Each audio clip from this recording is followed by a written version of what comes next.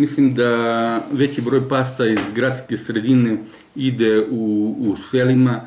A, mislim da sam siguran da se psi iz grada teraju u selima i da se pustaju tamo i da stvaraju ogroban problem u, u svim selima. Znači, problem pasa lutalica a, u selima je sigurno barem pet puta veći nego što je u Pirotu.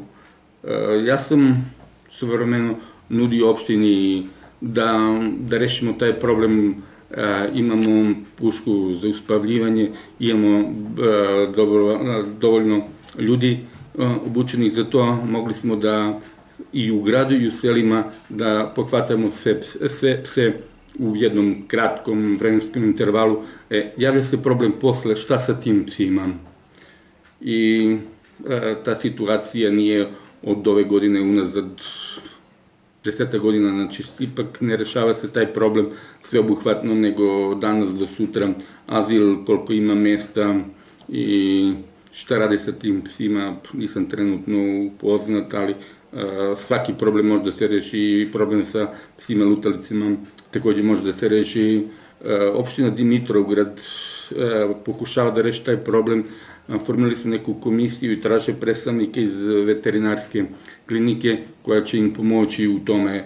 Nažalost, mi sa opštinom e, imamo, skoro nemamo nikakvu saradnju, e, razlog zbog toga, znači to su, nije, nisu ni bitni toliko, ali nemamo nikakvu saradnju sa e, opštinom i sa predstavnicima opštine što se tiče poljoprivrede i što se tiče govedarstva i što se tiče, i tiče pasa lutalica, nikakva saradnja ne postoji od kako je Goran Popović došao pre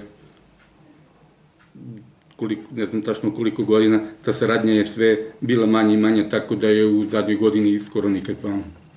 I ponovo napominjem, znači taj problem može se rešiti, znači možemo da rešimo sve lutalice jako brzo, da ih pohvatamo i da ih sklonimo s ulice. Šta će posle sa njima biti, to je već problem grada.